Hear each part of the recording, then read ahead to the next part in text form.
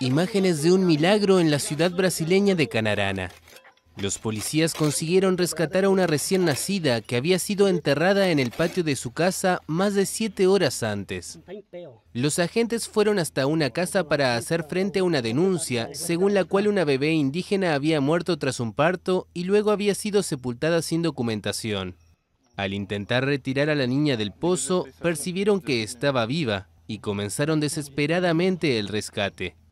La madre de la niña tiene 15 años y dio a luz en un baño de su casa.